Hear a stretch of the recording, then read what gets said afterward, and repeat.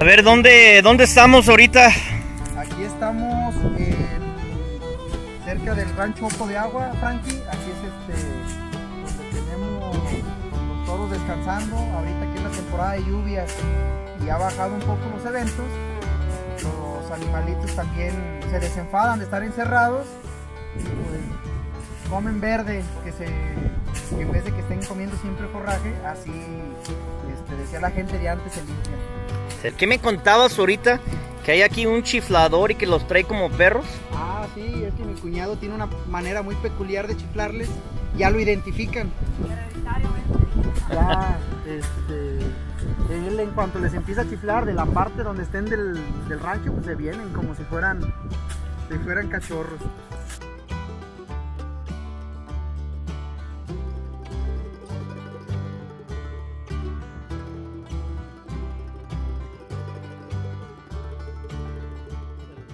Que van a sacar ahorita en este momento. Este, es la primera vez que lo van a, a calar.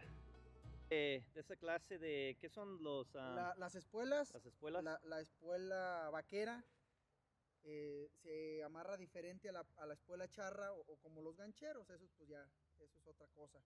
Esta espuela no tiene filo, tiene movimiento para la rodaja gira, entonces es más limpia la monta en, en un- en una monta vaquera.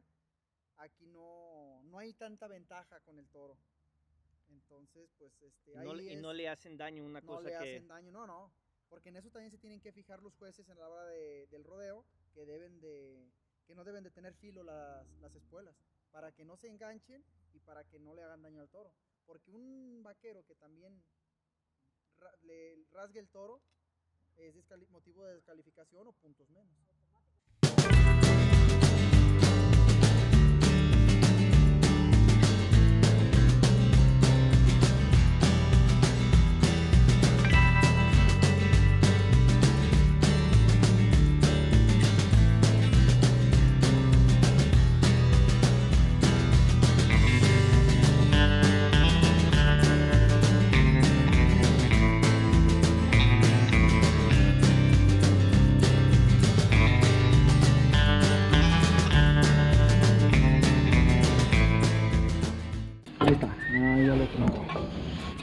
Ahí lo tiene bien de frente. Adelante.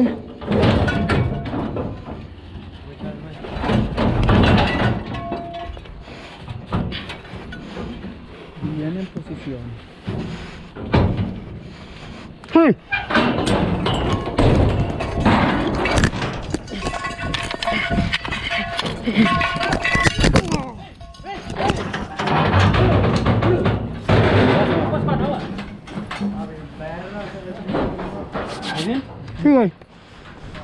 Hey, hey, hey.